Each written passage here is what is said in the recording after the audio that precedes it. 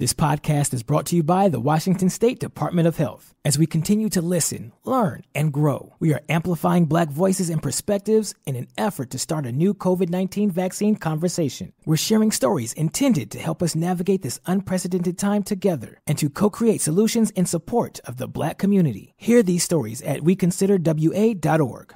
Geico asks, How would you love a chance to save some money on insurance? Of course you would. And when it comes to great rates on insurance, Geico can help. Like with insurance for your car, truck, motorcycle, boat, and RV. Even help with homeowners or renters coverage. Plus, add an easy to use mobile app, available 24 hour roadside assistance, and more, and Geico is an easy choice. Switch today and see all the ways you could save. It's easy. Simply go to geico.com or contact your local agent today. What's up? It's your boy, The Ted Smith. Thanks for listening to the Men's Room Daily Podcast. Want more? Check out the greatest podcast in all the land, The Podcast. Be sure to subscribe and listen to a brand new episode every Tuesday night. The men's room returns with Miles and Thrill. 99.9 KISW. Your guess is as good as mine. Kind of our categories today delicious coffee and the bugs that we hate the most. We will play your guess as good as mine right after emails on our random question question. 206 421 Rock. Random, random. Hello, random, Wes. random, Welcome to the men's room. random, random.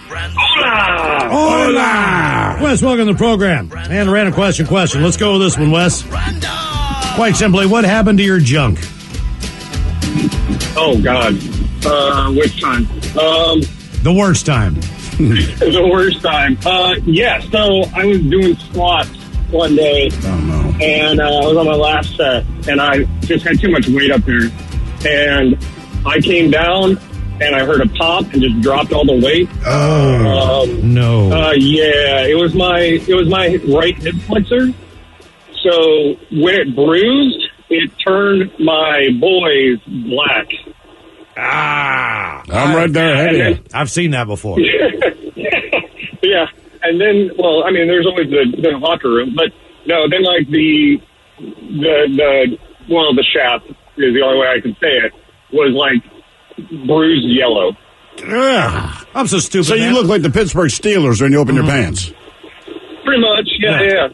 Black I, uh, and yellow, black and yellow, black and yellow. I broke two ribs in the uh, in the sled in the in the the squatting sled.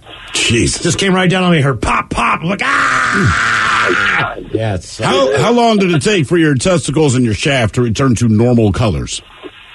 Um, it was about two weeks, and when I told my uh, ex-wife, well, wife at the time, I was like, "Hey, I think something happened at at the gym today," and I showed her. She just, just, holy hell, what what did you Oh, yeah. do? And I was Oh, like, and then and then I, I didn't tell the doctors for another four years. Finally, get an MRI and be told that, like, oh yeah, you tore your hip labrum. Ooh, God. God. Okay. Yeah. Reason we asked what happened to your junk, we asked the right guy. A high school student reported that a Kansas House member working as a substitute teacher manhandled him and kicked him in the testicles during class. According to the lawmakers, he told authorities that God told him to do it. The deputy's affidavit, You shall kick him in the testicles. said the boy showed him a golf ball sized road rash and a three to four inch scratch on his back that he said appeared after the state representative pushed him up against the classroom wall. He was charged last week with three misdemeanor, uh, misdemeanor counts of battery following his rude, insulting, or angry interaction with the two students aged 15 and 16. The affidavit said that he acknowledged during the interview that he had, quote, demonstrated a kick after one of the boys disrupted class. He told the deputy he did not kick the boy and the student had embellished the heck out of it. Well, the boy told the deputy that after Samsel pushed him against the wall and kicked him, his back and testicles were in pain for approximately 15 minutes. He has been banned from any property and events on any school ground for the com- for the rest of the year, but he's still uh, he's still working in the uh, Kansas House of Delegates. So, And that's not the worst of it. There's that one story. Now listen to this one. Part of a man's penis fell off at home after a complication during surgery caused it to rot away. The unnamed, which I think is uh, probably the right way to go about this, 65 year old man went to hospital 10 days after his member started to turn black. Doctors at King George's Medical University in India cut away the rotting flesh, dressed the wound, and the patient was sent home. But the gangrene began to spread again. And two weeks later, part of his shaft of his penis was auto amputated. No, no, that's not. It fell off. It fell off on its own. That is not auto amputation. Uh, the man was told he would need surgery to save the rest of his penis. Two weeks earlier, the man had an operation to remove his thyroid, a gland in the throat, after doctors had discovered a cancerous tumor.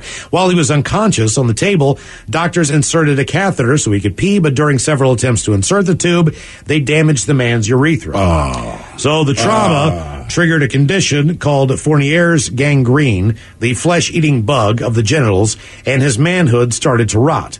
Before doctors could perform surgery to save the man's penis, they had to check how much of his urethra had been damaged. The length outside of the man's body from the tip of the penis to the bottom of the shaft had completely disintegrated. Oh, So, God. By the time doctors operated, most of his penis had already rotted away. They were able to save the healthy part of his urethra so he can still pee normally. But his entire penis actually had to be removed. And just when you thought we were done with penis stories, one more. Now the oh yeah, this is uh A 14 year old was cycling along the pavement one handed while holding a drink when he smashed into a parked car and his handlebars impaled his groin. Ah. He was taken to a hospital in a pelvic binder and the wound was packed according to an article published in BMJ case reports. When he arrived, doctors found the handlebars had sliced through his pubic area, leaving a 14 centimeter long wound across a 10 centimeter cut down his perineum. This had inverted his left scrotum and partially degloved the penis, degloved. meaning the skin and tissue was ripped away, exposing the muscle or the bone. He was put under general anesthesia so the wound could be washed out and the damaged tissue removed.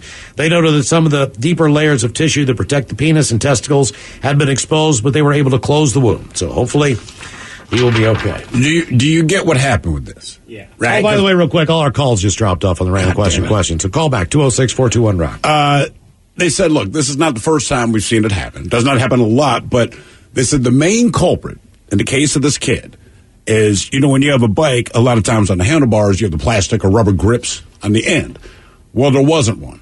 So when he impaled himself on the handlebars, it's like the one in a million shot. His penis actually went into but you did it with such force, it's like a cheese grater, man. So it just shaved this thing. That I, the odds of that happening are real slim, but the fact that it happened at all makes me very uncomfortable. In fact, I realize my knees are touching. I keep closing my legs. He made a skinless banger. He did, in fact, make a skinless banger.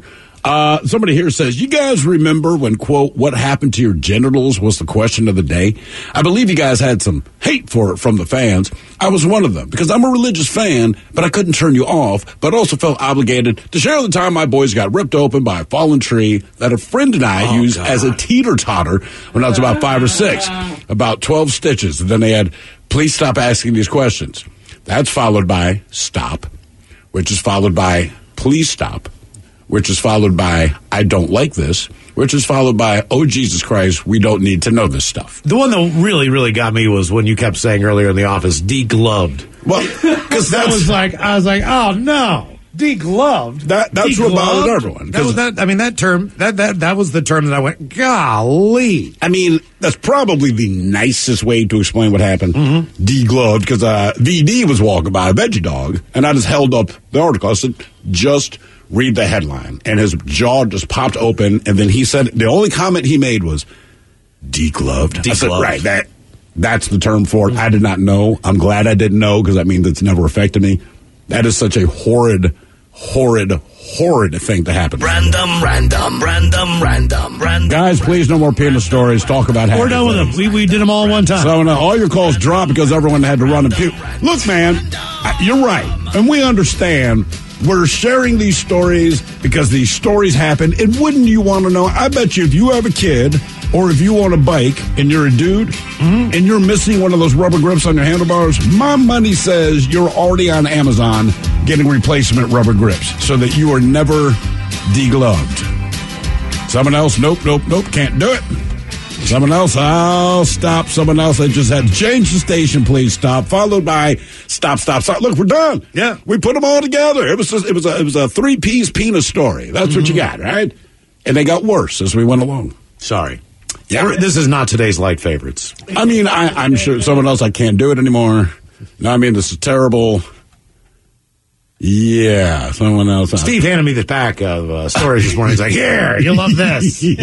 I really did. Yes, that really worked out and, well. and I'll let you guys in on a little secret behind the scenes. All right, now the last year, basically, no one's been in here because of COVID and all the rest of the stuff. But when we were at full capacity, it was what 100, 120 people on these floors. Probably, right? yeah. And I print all of my stuff to the lobby printer. All right, and a lot of people print their stuff, and like for sales, it's spreadsheets or what their talking points are going to be. Other business people, it's crap I don't understand. Engineers have no idea. Mine are just news articles, and I would make it a point. VD finally called me out on this probably about two years ago. he walks up the hall and he has a stack of stories that I'd printed. And they'd been there for like two hours. I, I hadn't gone down there to pick them up yet, and they're all stuff like that. You know, your penis being degloved or whatever the hell it is. And he's like. Do you do this on purpose? I said, I absolutely do. we have a printer in our own office. Oh yeah, we got one. I can literally walk five feet, but I don't. I walk all the way down the hall. I'm like, You also I leave them on the printer I- for hours. at a I time, leave them there because. I know it makes people uncomfortable. But oddly enough, people always seem to know their mind. Mm-hmm. yeah. They walked out. Yeah, I I think you printed these. I'm like, yes, yes, that was me. Hello, Lynn. Welcome to the men's room. Hola. Hola. Glenn, welcome to the program. Random question, question. People are still mad. Ah, that's all right. Why the f would you read that, Miles? Degloved penises prove there's no God. Jesus. All right, Lynn, let's go with this one. What uh, what memorable or cool thing or unique thing did either your grandma or your grandpa do? What do you, what a memorable thing in their lifetime? Degloved his penis. Um, let's see.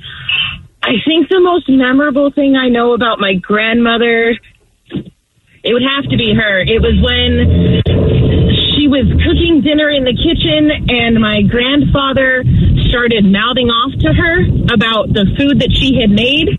And so she just started flicking hot grease at him while he ate. Jesus, that's cool. I, yeah, That's love. it is. Did he even care, or was he just like, yeah, it's her being her? I can't say that one. Once again, bedroom colors, here are the seven words you can't say on the radio. Sucker, mother, and please keep those words in mind when calling. Now back to the program. Good times. So he just kept mouthing off to grandma anyway. Yes.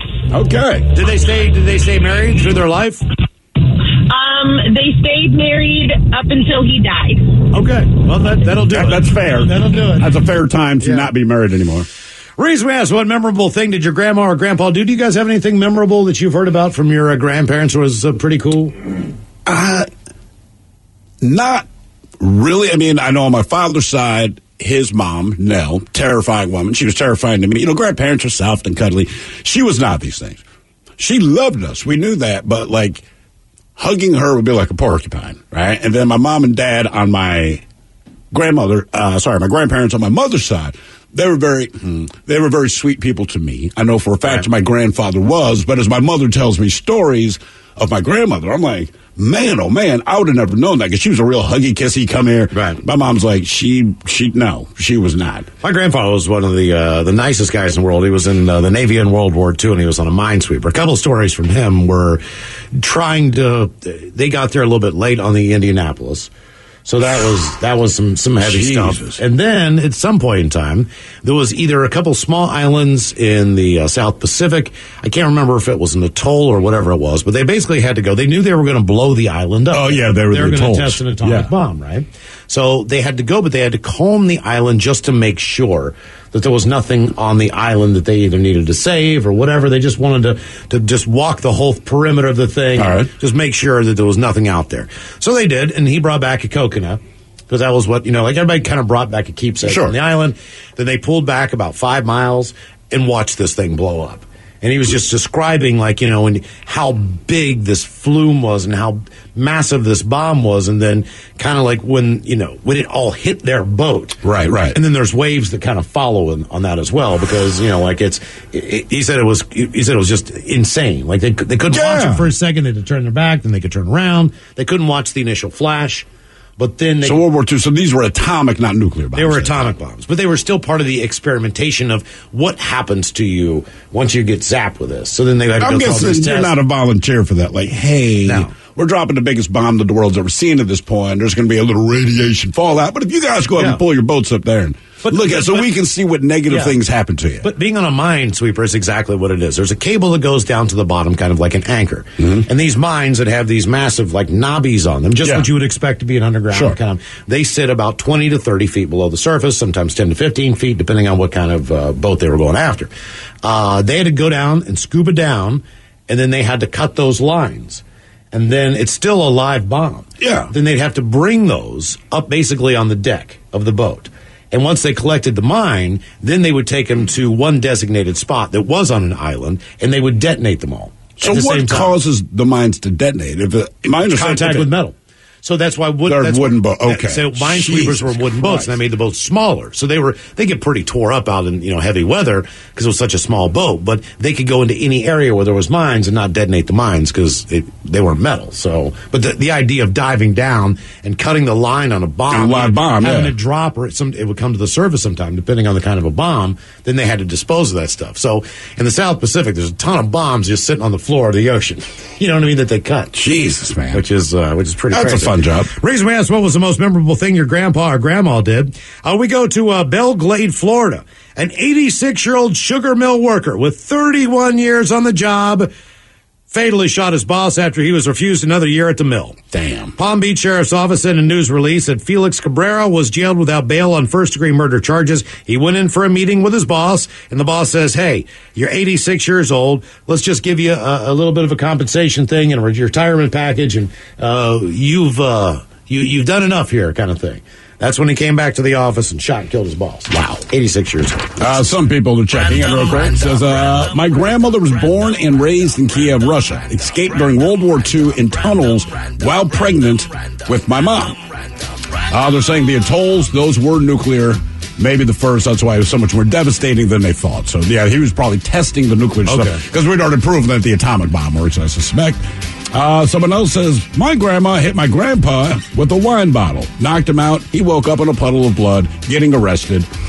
And uh, someone else says, could you explain how the dump button process works? I've listened to you guys for years, called in a few times, and I know there's a delay. I've always wondered how the dump button for swearing affects time on the radio. And then someone else adds, maybe degloved should also be a word considered a dirty word. So the delay, here's the weird thing about delay, right? So whatever you're hearing right now, we probably said, what, about 40 seconds ago, Mike? Somewhere in there. So we hit the delay, and when we hit the delay, it cuts what, seven, eight seconds of the audio out, wherever the fr- five seconds, all right, whatever the cuss was, it gets covered. And then believe it or not, this thing is designed to such you can't tell that our voices would have to speed up or slow down. They ramp it. to- They ramp it up and then they ramp it down just to get it back to where it was. So you know that six seconds will be cut out, but believe it or not, we had so yeah, but, somehow they do it at a pace that you don't notice that suddenly our words are getting faster. correct. It's a weird thing, man. yeah, that's weird. I hope I- Technology. Random, random, random. Or if not, we couldn't do Ted versus the FCC. or he would just have to nail it every time. Hello, Jacob. Welcome to the men's room. Sup, bitches? Hola. A new movie title, Mike. Mark this one down. Ernest gets degloved. Yeah. Jacob, let's go with this one. I ran a question. Question: What would you say is the worst thing about any neighbor that you've had? Oh, let me see. Uh, I'd probably have to go with uh, this neighbor who lived across the street from us as when I was a kid, um, and they would always complain about how close the mailboxes were. So they literally dug our mailbox up and moved it uh, about a block down. What? Yeah. Why was there a problem with where the mailboxes were located? Um. Well, I I think it was. I think it was more about the area, and you know, just people thinking that their ass doesn't stink, you know, and uh, they just didn't like the look of it. So they moved your mail. That seems like that would be like some type of federal offense.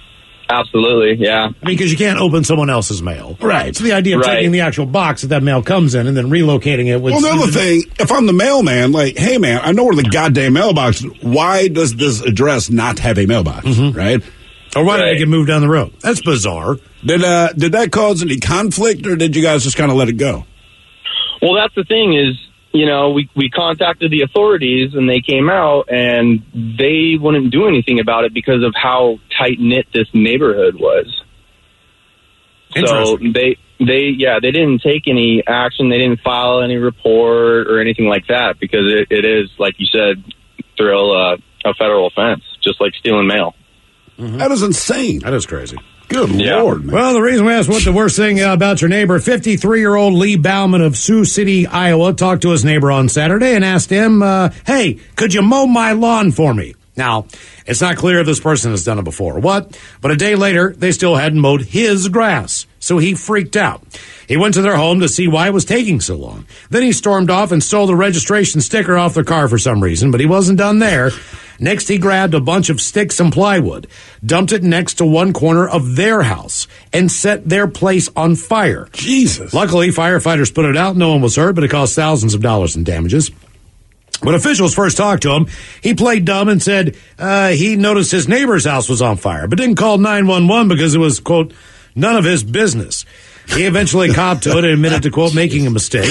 Firefighters knew some sort of accelerant was used to start the fire, and when they asked him about it, he said he used gasoline that he got from a lawnmower. It's not clear if it was his neighbor's mower or his own.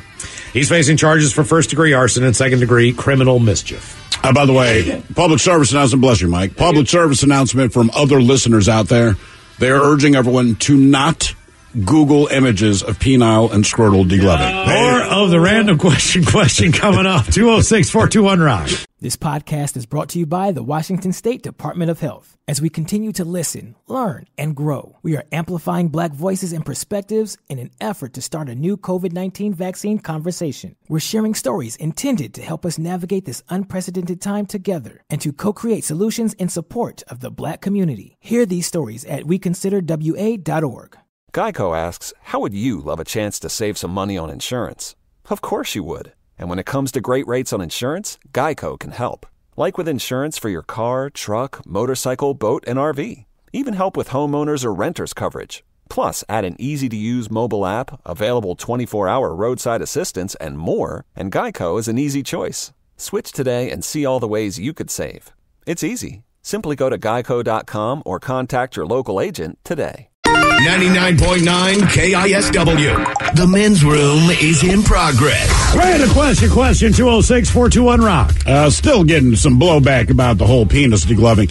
And uh, and the guy mentioned that we had asked the question. I, I vaguely remember years ago, I guess, what happened to your genitalia, right? So I say this to Mike. Mike goes, Yeah, we did. And apparently it was in direct response uh, to our boss who told us not to talk about genitalia. so we decided to dedicate two hours to it. Because that's how we roll. Hello, JD. Welcome to the men's room. JD, are you there? What's up? How are you? Hola. Hola. I'm good. How are you? Doing great. Oh, nice. Here we go. hey, uh, let's go with this one on a random question question. Now, what happened with your dog? You've had a dog before, right? I have all kinds of dogs. What is the craziest story that's ever happened with one of your dogs? I have a bulldog that decided that he was a lap dog and crushed everybody in his path. How heavy was he? Hello. Hello. Yeah, how big was he? He's 70 pounds. Okay, that's a big, big dog. And a very compact body. Is he still around? He is. He's sitting right next to me. Okay, all right. But not on you, just next to you. Huh? Yeah, okay. Do you think you could outrun a bulldog? Mm. Probably not. No, they're four I legs. only ask. I know No. they got four legs. I, I don't know, but I, I distinctly. It's one of my favorite memories, not my brother's, but back when he delivered papers, we're kids, and it's a Sunday morning. The papers are bigger, so I've decided I'm going to get up early. I'm going to be nice. I'm going to help him stuff all the crap into the Sunday paper. And then he took like the old lady shopping cart, and he would go deliver the paper. So I remember he walks out of the garage and he disappears around the corner. Maybe 20 seconds pass and he is hauling ass, still has his papers to his credit, still has a little basket of paper, and he's running full tilt. My brother's not a speedy guy, but as fast as I've seen him move, and I can't figure out what's going on, and he's screaming to me, close the garage door. And as he's getting closer, I realize he's being chased by a bulldog. All right. now the bulldog started closing, and again, it, uh, obviously they're not the fastest dog, but it started closing the distance on my brother. And I now have my finger on the button, and he basically dives into the garage, huffing and puffing. I close the door, and just as the garage touches the driveway, you hear this dog jump, and you hear its claws slide down the door, man. I don't know what it was with my brother. Like every dog wanted to kill him. And I knew that dog. I knew the people that owned the dog. So I walk out the front door of the house. The dog's fine to see me. Little nubby tail wagging. I'm petting him. And I had to hold him until my brother could escape from him again. Hey, Look, some people are good with dogs. Some people are horrible with dogs. Like my grandfather was a post uh, postman for 35 years. He got bit twice in 35 years. All right. Other than that, he, I mean, any dog, dogs just gravitated to him. Even after he retired, he, go, he could go anywhere. Like, Really? he could come in my neighborhood. Dogs used to always run. Sure, sure. And I get home from school, he'd be there. He's hanging out, whatever. He'd just be on the porch, and there'd be like six dogs. Like he's holding court, like he's talking to them. Like the dogs that didn't even get along would just. It'd be cool there. if he was there. Yeah, they just sit around and like kind of hang out. And, And so it's the exact opposite of my brother. The Right. dogs that were friendly to everyone in the neighborhood, they would just, and they weren't even necessarily vicious assaults. Like they would sniff him and then just bite him. Well, the reason we asked what happened uh, with your dog there, uh, a memorable story. A dog walker has told how she was attacked and that her dog was lifted off the ground. Tracy Hale said she was on a walk with her little eight month old cockapoo Ted on Saturday morning when birds suddenly set upon them. One of them lifted Ted off the ground before Tracy managed to grab him back. But she was then attacked herself, which caused her to fall over. Luckily, Ted and Tracy escaped from the vicious birds and have not returned to the park since. It was really scary. My dog was petrified, and all I could think about was how to protect him. It just seemed to be in slow motion when it happened. I'm still in shock, and poor Ted was scared to walk past the park afterwards. I'm sure we'll be avoiding that park for a while. There's a big tree in between the two fields. There was a crow on the path as we were walking by. I just assumed that this large crow would fly away. Next thing, this big crow starts squawking and attacks my dog. Then another joined in and actually lifted him off the ground and tried to fly away with him. Uh, it is a, a good job. He is a, a cockapoo uh, and not a smaller dog. I grabbed him and started to run. They started attacking me, made me fall over, and started on my dog again. Obviously, they were protecting their nest. Uh, they were just walking by, but there was an older couple that heard screaming. So they ran over to make sure they were okay. They said they'd never seen anything like that. They've never seen a crow swoop down and pick up a dog. No, man. I mean, I know crows. I kind of like crows. I know they can be a nasty bunch, but I mean, I got my neighborhood crows, and it is kind of funny. As soon as you go out with the dog, the dog always wants to chase crows. The crows know this, so I open the door, and honest to God, if it's just me walking outside, I'm going to smoke a cigarette or something. They'll do a couple of squawks. They don't care. They keep going about their business. Mm-hmm. If I walk up with the dog out of the same door, they do a squawk, and all of them just fly up to the power line and look down. And my dog kind of looks up, and we walk by. And as soon as we get to the end of the driveway, they drop They're right back back, to the street and they eat. The other thing I found out with crows. All right, so in my other house, different dog, but in the other house, our front door essentially faced an alley, but everyone on this alley, well, we faced the same alley. So trash cans are there and all this. And the crows would go through everyone's trash every day, and everyone's getting pissed, and they tried different things, keep the crows out, and nothing worked. And after I got the dog, I threw my dog poop bag uh, in my trash can, and I realized they stopped going after my trash can because crows apparently really don't like dog poop. So at this point, every time I took the dog, threw the poop in the trash can, never a problem. But they still went through the neighbors. But there was a guy down the street where basically my dog's turds kind of became currency. Because he goes, hey man, you know, the tra- everyone's out there cleaning their stuff up. And he said, well, they didn't get your trash can. I said, well, there's dog poop on the top of it. So they popped the lid, saw what's up there. They're, they have no interest. So it got to the point where it's like, can you just do me a favor? Drop a solid in there. Just for me. drop a solid in there. You take the dog out three or four times a day on one of your walks. Can you drop a poop bag in my trash can? And it seems stupid, but I'd walk like three houses down, open his trash can, throw it in there, but they stopped going after his trash can. Random, That's random, right, poop, random, ladies and gentlemen. Random, Works. Random, random, Hello, Deshaun. Welcome to the men's room. random, random. Hello, Miles and Drew. Hola. Sean, welcome to the program. Random question. Question. How you doing? Good. Okay, let's see what we got from you. Okay. How did you prank or get back at someone? Or how did someone get back at you or prank you? Uh, they use cold water. To do what? Uh, um, to get me wet. Okay, well, that solves that then. Did they dump it over your head? Was it your clothes? Did they push you in a cold bathtub? What? In a pool, in a lake, in a stream, in a river. They they dumped it over my head. Okay, why did they do this? Uh, um, uh, it because it was for Um, Was it like the ACLS water challenge or something like that, or whatever it was? No, it was. No, it was. No, it was. It was one of my. It was one of my family friends. We. It was. It was. It was one of my family friends. It was for. It was one of my family friends. It was for a party. Okay. Well, apparently, did you have a good time? Yes. Okay. Well, as long as it didn't bother you too much, you know. I guess. Yeah. It's, uh, it's, I wouldn't be hanging out with that friend group, but uh, it's just. I mean, it depends how much water it is. Right. Uh, you're gonna like this one, Steve. This involves one of your favorite bands of all time. Are you lying? No. Because every time you say that, the first thought of my mind is Poison. Who's no, the it's, exact it's dead opposite. serious. It's really one of your favorite bands of all time. You've All right. always been the biggest uh, Faith No More fan that I know. Absolutely. Okay. Yeah. You know the lead singer's name is Mike Patton. I do know this. Yes. Okay, and this is uh, a story back from 1992, and actually, this is one of those stories where uh, that uh, I, I was at this tour back then. Mm-hmm. It was Guns N' Roses, it was Metallica, and Faith No More. I remember that tour, man. Uh, and it, there was another leg at one point in time where I want to say Living Colour. Uh, might have opened up as well. Damn. But Faith No More was the was the opener when I saw them in Three River Stadium in uh, in Pittsburgh. But that was quite a show. And uh, Metallica and Guns N' Roses they alternated headlining nights. Right. So certain times during the show, I think the show that we watched, Metallica actually played during the day, and then Guns N' Roses, after a, a brief wait, played uh, played the, the the latter half uh, of the concert. But either way, uh, Mike Patton in a new uh, in a new interview.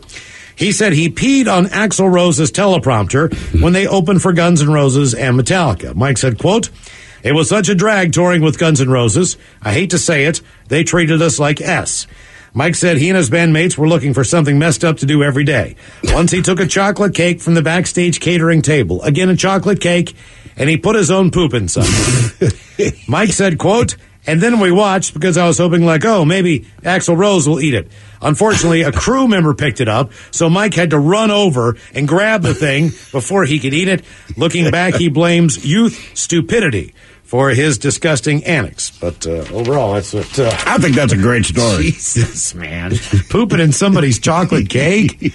I mean, you ruined the chocolate cake for. No one just eats a whole chocolate cake. It's going to be consumed by a large number of people. But obviously, it's probably slated for Axl for whatever reason. Random, random. I said he wasn't having a good time. I Guess not. Random, I've never thought of that movie. Hello, Charlie. Welcome to the men's room. Liquor and whores. Liquor and whores. All right, Charlie, let's go back to your youth on this random question question. Back in the day, was there anything that you were not allowed to wear, watch, or do? I mean, lots of things. Biggest one was not allowed to watch Simpsons when I was a kid. Simpsons. That's so funny. I I remember a lot of kids had that problem, and now they're just part of pop culture.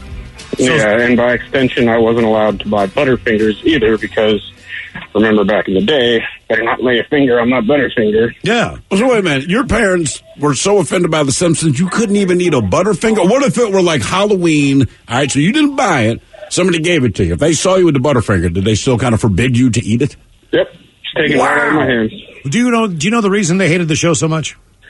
My mother uh, did not like Bart Simpson because she thought he was disrespectful to authority and disrespectful to his parents and everything else like that. You mean a child? Yeah. I wasn't allowed to watch Speed Racer when I was a kid, just based on What? based on violence. What was the Look, violence I don't Speed know. I wasn't. I wasn't allowed to buy Kiss albums either. Really? Oh, was all kinds of stupid crap going on in my house. My parents did not care at all. I'm not saying I turned out well, but they did not No, care. This saved my all. life, Steve. Could you think? Could you imagine what would happen if I bought Destroyer when I wanted to? Can you, can you think of all the hell that would have broken loose? My parents got me, they bought me my first couple of Kiss albums. I remember one Christmas, one of the albums, all I ever wanted was just music, but one of the albums they bought me was Blizzard of Ozz from Ozzy Osbourne, where he's on the cover, like slamming across into the ground. They were like, we don't care. It's your me. My father's whole deal was if I don't have to hear it, I don't care what you listen to. And the other album they bought for Christmas was uh, Screaming for Vengeance from Judas Right. Priest. Now, that's for these by name. My dad's like, That's a cool name. Mm-hmm. I'll tell you what. The other thing, I had to hide Cheech and Chong albums. I had to hide my Richard Pryor albums from them, so they could, they didn't really know Richard Pryor's stand up so much. They just knew him as Richard Pryor. Mm-hmm. So they did not know what I was listening to with my headphones on in the record player. Sure, sure. They had no idea. So that the one that really pissed me off more than anything was I bought uh, the Doobie Brothers Minute by Minute. All right. And uh, if you open up the Minute by Minute album on the inside with the Doobie Brothers, they had just a huge joint.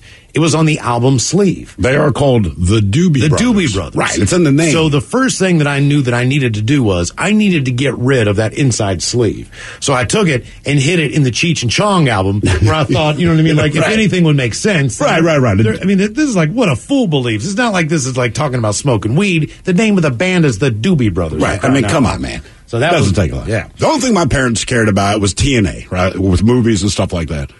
That was it. Just you know, they don't want me to. And I'm not talking like Porky's. I mean, if it showed up at all, and then the first time I actually saw boobs in a movie, and it was completely pointless. Horrible movie called The Howling.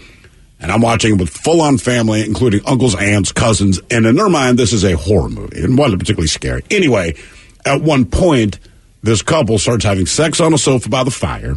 So already this is getting weird because I know my parents have an issue with this or whatever. But then the people turned into werewolves while they're having sex. And it was just a bizarre Like moment. an American Werewolf in London kind of thing. Yeah, but it wasn't supposed to be funny like that. When it was, it was supposed to be scary. But anyway, they turned into werewolves uh, while they're having sex, and I remember it was a little awkward, and there's some silence there. You know, I'm trying to hide my erection and all that. But my uncle looks over at me and goes, "Stephen, when that happens, that means it was good." Mm-hmm. There was this movie, man. I the, the one time that I, the one time that I got grounded was I was talking to my friend on the phone, and my mom picked up the phone because she was going to call one of her friends. I did not hear her pick up the other phone in the room, so I did not realize that she was listening in on my conversation. And I was telling my buddy about this movie I saw, Death Race 2000. I want to say that that movie had Sylvester Stallone. It did. Yes, it did. Either way, the premise of the movie was during the course of the race, when you ran over someone, you got points. Mm-hmm. So this is like think like Texas Chainsaw Massacre campy type of flick, right? Yes. There's not a lot of seriousness that goes into this. There was like unnecessary blood and things like that, but it was very much over the top. It was just one of those movies. But you got more points uh, for who you hit uh, based on situations. Like elderly wheelchair. Right, if you hit someone Right. in a wheelchair, it's big points. Like so, like people were uh, during this race, they were they were pulling through hospital, you know, like emergency room, like you know areas where people were dropped off and killing people. But the thing was, it was like points were going up as they were doing it. It was it, it was It's a campy, stupid movie, You knew but, it wasn't yeah. real, but I got grounded for like two Oh, weeks. oh, no. Because my mom then made it a point to go watch this movie to find out what it exactly I'd learned. And I don't know if you could really deduct anything from that. You know what I mean? As a 12 year old kid or whatever, but either way.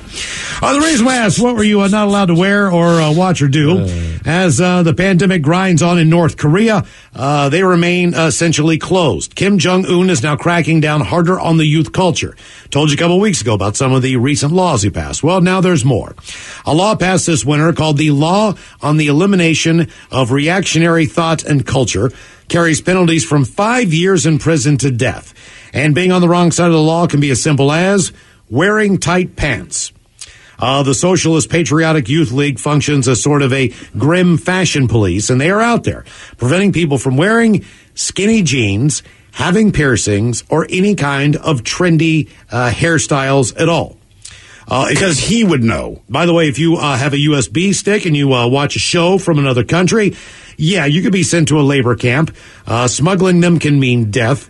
Uh, as far as South Korean TV shows, uh, they are basically showing all of these arrests and keeping people up to date. That look, if you do any one of these things, it's a minimal of five years in prison. Minimum. Minimum. By five the way, years in prison. My mother, who apparently is listening to the show, she texts me.